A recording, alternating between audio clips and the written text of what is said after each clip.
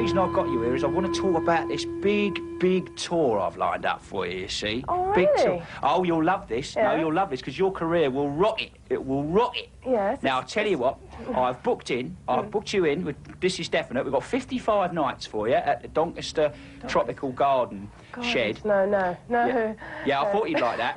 Uh, we've got mm. 177 nights for you and a bucket of herring called Christopher. That should be good. And ah. one night, I can't promise this because it ain't been confirmed yet, but we've got one night in the largest stadium in, in, in Basildon.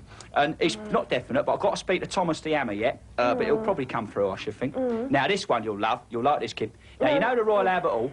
Yes, yes. Well, just round the back there, right, they got this, this old newsstand, right? It's been converted into a sort of stadium-type effort jobby thingy thing, right? Now, I know you've supported the great, well, the great Gordon Jackson, stuff Yeah. like that. I know you've been with him and all that, so you'll be used to all that caper, won't you? Now, failing that, Mrs Huxtable from Cheadle Hulme has offered us a 17-night deal in her larder. Hmm. Now, I haven't confirmed this yet, Kim, because I wasn't sure if you were confident about filling the larder. now, I thought you might be able to, so what do you reckon? Uh, this doesn't sound quite me, somehow. I, I knew you'd be with us on that one. Nice one, Kim. So I'll go ahead with that one. Cheers. Dear Gilbert, why is the garden so unkempt of late?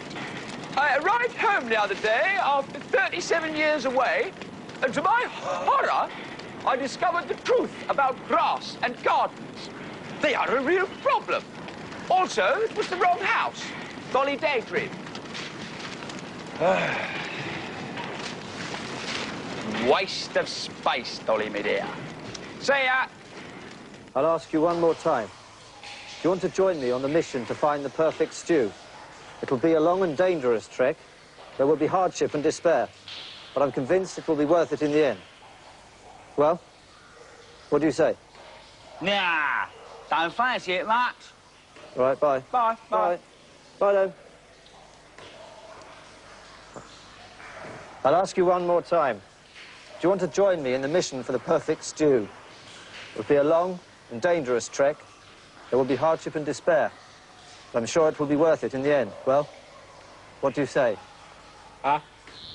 Well, I must say, Jim, the prospect of any further action today confined to the pavilion here at Headingley. It's drizzling steadily, and the light is very bad indeed.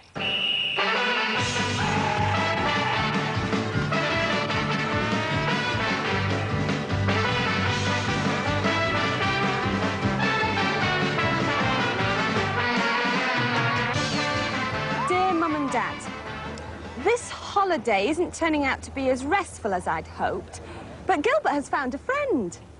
Well, uh, I thought I was in love once, and that, that was with a rock cake from, uh, from Cirencester, but, well, different backgrounds and all that, you know, it just didn't work out, I suppose. Here, I want to, well, I want to say something to you, Perk, and I've never said this before, but I love you. I really do love you. I think you're the most beautiful thing I've ever seen in my whole life. Eh, Perk, what's the matter? You, you haven't touched your scrummy griddle burger. Yeah, I suppose it's love, really, isn't it? affects you like that can affect you in funny ways, can't it? Good news on the romance front. Manolo and I are back on speaking terms. Sadly, he can't come out tonight as he's expecting an urgent telex from New York. So Gilbert and I thought we might go to the flamenco evening at the hotel.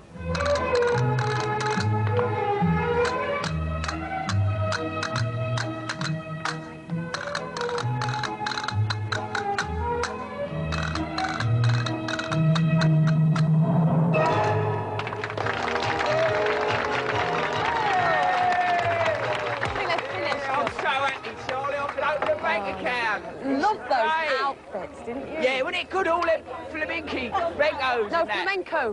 Pardon? Dancing. I don't know what they're like. They're really good, though. Well, Here. that's what Spain's all about. Yes, it's all about that, really, isn't it? And culture and everything. That's look, the real Look stuff. at Perk, Charlie. She's having a lovely time, isn't she, eh? Oh, Here, good. I'm so happy, Charlie. Now I've found love, love, true love deep in my heart. You know, I haven't been so happy, Charlie, since the last time that I was happy, when I was all like, all smiling and glowing like a happy, happy, happy person. You make a Oh, lovely Charlie. couple, Do you Gilbert. think so, really? you serious? Yes, Oh, I think we do too. I'm so in love. Oh, Oh. hang on a moment. Um, I've just got to nip off and see uh, a little pussycat about a geezer or something in What? a minute. I'll see you later. Gilbert? Now. Yeah. Gilbert. Oh, sorry. I don't know where he's gone. Actually, so far on the holiday, we've been getting along fine. No tips, really. Not much, anyway. He's, uh, he's quite nice, really. I'm not sure whether you're understanding me. I mean, do you speak Spanish or English? I'll just carry on, shall I? Okay. I've met some lovely people whilst I've been here in Bordeaux. Very friendly people. One very special person. He's called Manolo. He's very important. Unfortunately, he couldn't take me out tonight because he's expecting an urgent telex. He's, uh, very rich. In fact, he owns the hotel and a couple of yachts and lots of other property as well. And a very big television company. Oh, I think they're starting up again.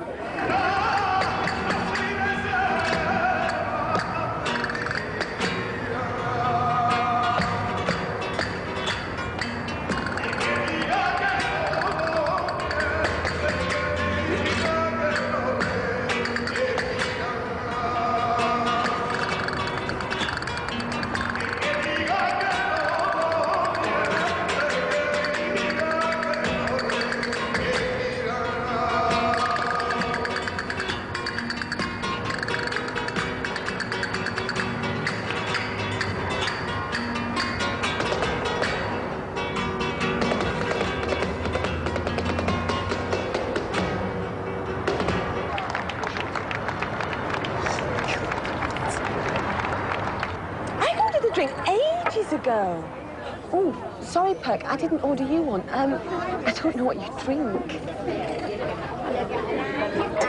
Manolo!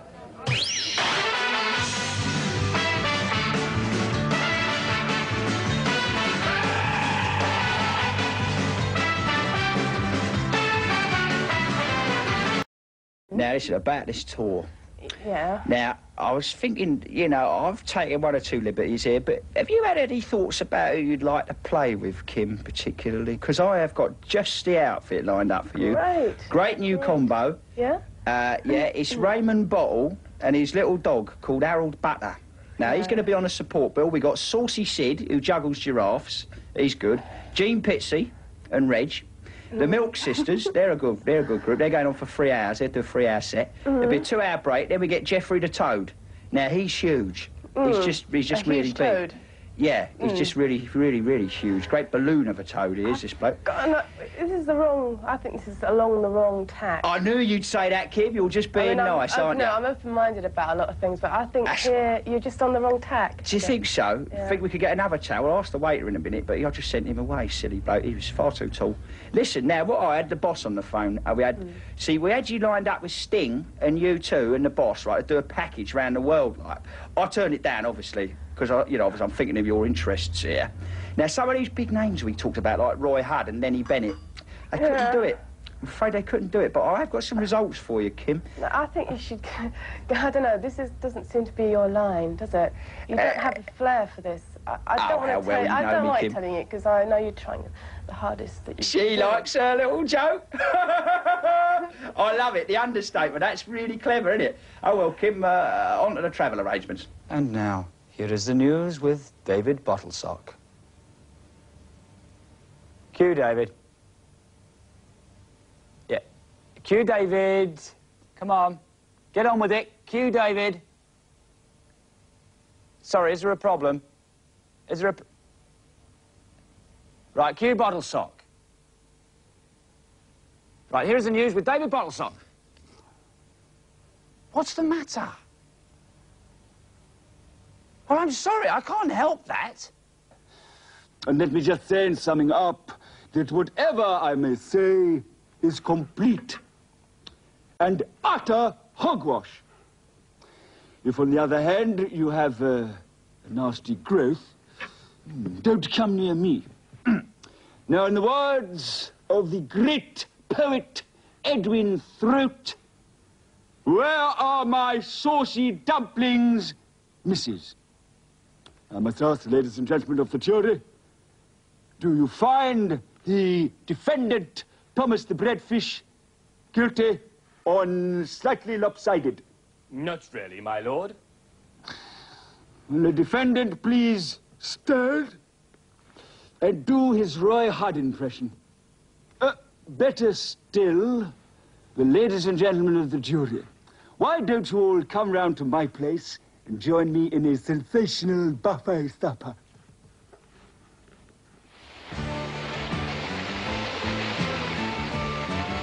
Look at all that. There's no stopping it now. So grey out there. Hey, just think, before it was grey, it was all green. Because there was no grey there, just green. That's much better, that is. That's why I painted that window frame green. Well, I didn't do it like, but some gadgy like come round on the council to do. It looks smart, though. You know, it's funny, but I sometimes think people are right funny if you think about it. Anyway, I, didn't come here to tell you that. Oh, I was thinking about uh, having an extension put on my anorak with aquatic leisure facilities and a disco club area. Yeah, that's for all you gadgies what do that kind of kiver, you know. Ah, well, you can always dream, like, but not in colour, because I didn't think we as human people, like, had the inbuilt ability. You know, some people actually love cricket. And they can even watch it too. Some gadgets are strange. I'll tell you straight. It's not football, mind though, but that's a game I love. I reckon that I love football more than I love my Engelbert Humperdinck records. Mind you, if you think about it, uh, there's more chance of my Engelbert Humperdinck records winning the First Division Championship than Newcastle United. Ah, you know what? I didn't worry about whether the lads are in the First Division League or the Opal Fruit League Division 190. That's because I love 'em. Hey, I've just realised something. It's raining like there's now tomorrow. I've just been watching it so long that I forgot about it. Away. I better get out now and put my rain collector in position. Ah, it's a canny little collector. It can collect a load of rain in it. Well, that's why it's called a rain collector, like. I got it for saving up five tokens out of my Home Scientist magazine, like. At the moment, I'm collecting for an electrically motivated thermometer. Hey, yes, talking Newcastle Weather Centre Chief Weather Gadgy Len McMonotony, like. Oh, yeah. You can always dream.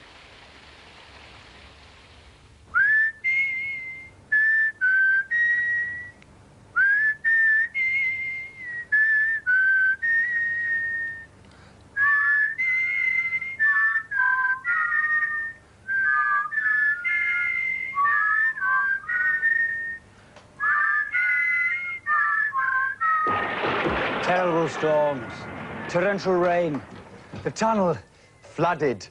The chaps were in turmoil. Fortunately, I knew what to do. I don't think we should try and drink our way out no more, sir. Don't taste too good. Oh. Oh. Oh, maybe put some more water in, sir. I think there's quite enough water down there, thank you. That is, after all, the very nub of the problem. Ah, very good, sir.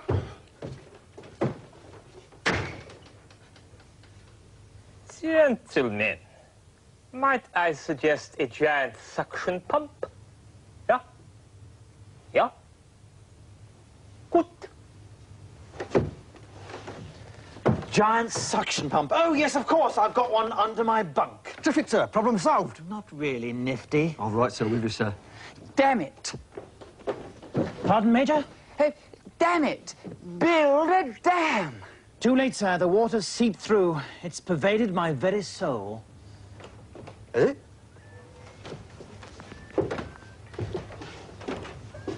Yes. No, I suggest a giant suction pump, sir. Can't you think of anything? Oh, no, sir. Why don't we use a giant suction, um... A giant suction, uh... Yes? A sort of giant suction sort of collecting machine, sir, rather like a pump. All right, Sergeant Major, at ease. What? Just a little slap, sir? No. I suggest we sleep on it, chaps. In full kit, sir? Is that your tunnel, sir? Uh, yes. You got a chitty for that, have you? Yes? Oh. It's a squirrel, sir. It's round the back, sir.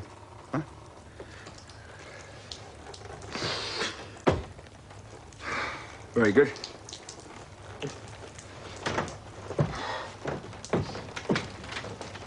Just uh, mind how you go, eh?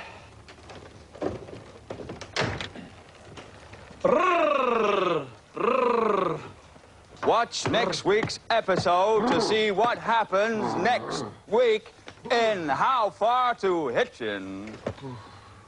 How far to Hitchin? It's Hitchin I'm missing. How far to Hitchin? It's Hitchin I'm missing. How far to Hitchin? It's Hitchin I'm missing. How far to Hitchin? It's Hitchin I'm missing. How far to Hitchin? It's Hitchin I'm missing.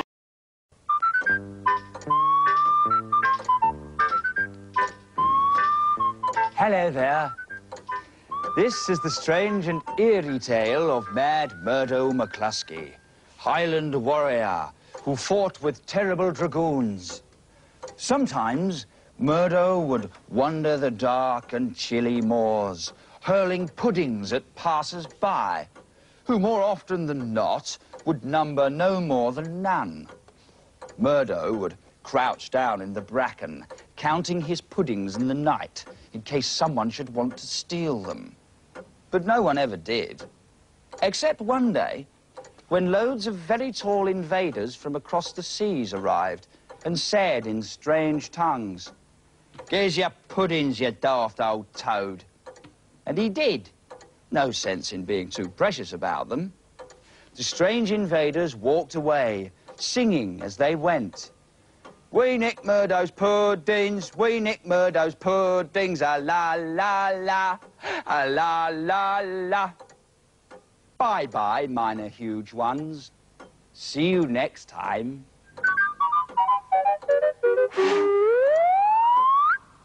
Ow. Idiot.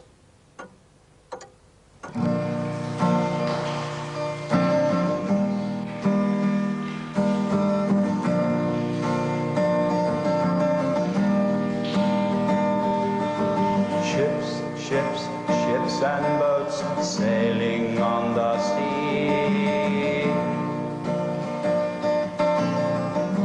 Stop it, stop it, Archie. Stop it, stop it, stop the song, stop the song now. You stop the stop the song, please. Stop it, Archie, stop it. Thanks so much. Obviously, yeah. First class if I'm flying. You know, Ah, definitely. Yeah, Of course, flying. you know, the, the tour bus has to have some sleeping arrangement, like that. bunk Yeah. and stuff. Of course, yeah, the tour bus. Yeah, well, about. Backstage, you know, I like to have, you know, nice champagne and things like that. Yeah, I don't think that's too much to ask, do you? I think that's quite reasonable. No, no, for it, no, no, for it, no, for it, no, no, for someone in your no, for your position, someone in your position. Mm. You look, you look very nice, very In my nice. position. The position you're in Yes. now, it's comfortable, isn't it? Yes, it's lovely. Extra gags, Kim. Extra gags. You can't I say fairer than I, that. I charge for those. right? Ooh, naughty, get naughty. the bill later. Now, listen, Yeah. see, I had this in... Now, what I had in mind, obviously, all... For a bit of a problem on the old flights. Now, have you got a Mm. clean licence? Um, license? Yeah, driving licence uh, thing. Because I might be able to get a van, you see. No. Now, sleeping, that's all right. That's all organised. You'll be sleeping in a box with Horace no, hang on. Who's driving? Who's Y- driving well, we van? hope that you would be I'm able... driving the van. Yeah, didn't you mm. think that would be part of the deal at all? No, not at all. Well, it would be quite all right, I'll bet, probably, you should think. Mm. Now, also, you will be travelling sometimes by a sort of bicycle come sort of go-kart type thingy job, mm. right? It's got pedals. It's got pedals, Kim. Great, that's great. It'll be good. It'll look good on the CV. Ridden around on a thing that looks like a go-kart and thing like that. Yeah. Done that. You can put on your thing, can't you? Mm. Right. Now, food, that's all right, because we've got a sponsorship deal with Mateo's Dog Food, right? Now, what we're going to be doing, it's all meaty and chunky and lovely, and there's a bit of variety, because they're even going to be sending it on the old Marylebone jelly. Marylebone jelly, I think it's called. Now, Kim, Yes? most important of all, money.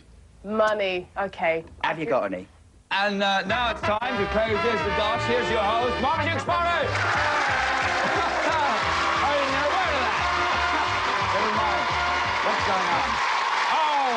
It easy, folks. Come on, don't overdo it. Come on, folks. Ah, too much gushing. Ah, they love me though. What? Uh, come on, answer that. Who was it? What? Hey, Bob, can you get that phone? We shouldn't have. Can you get the phone, Bob, please? No, can you get the phone? Yeah. Oh, I don't know, some... Yeah. Okay. Well, uh, there we go. Welcome to Kiss the Dosh. Two contestants you've seen before. There he is, Smiling Eddie. We got him there. And uh, that's a little clue as to our fantastic holiday that we're going to be uh, uh, giving away as a prize later on. Ladies and gentlemen, my impression of an aeroplane lost in the fog at London Airport. Him!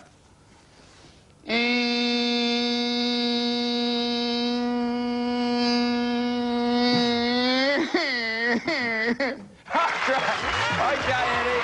How are you, Eli? How you doing? Well, I've not been very, very well lately. Well, the other Thursday, I went to my auntie's funeral. A fella came over over to me and he said, it's hardly worth your while going home, is it, lad? Oh, I'm sure I don't understand. Hey, I'm going to do it from here now, Bob, okay? Ah, right, now then. Eddie, your question first. What am I doing? Uh, riding a bike. Yes, that's good, nearly. Very good. Very good indeed. No, no, in fact, I wasn't riding a bike. I was doing something completely stupid that uh, nobody saw me do. Okay, there I am. Get out of there. Get out of there, Bob. I don't want you in here as well. I just told you, answer the phone. It's better. The prize, the fantastic prize that we're going to be... Did you like it from here, Bob? And the... What has happened to the prize? Where is it? And here it is. Come on, you guys. Where is Barry? What is he doing? This is, this is, the, shit. this is, this is the prize, the, the, the fantastic prize, and, and you have to just... This Oh, is holiday. Uh,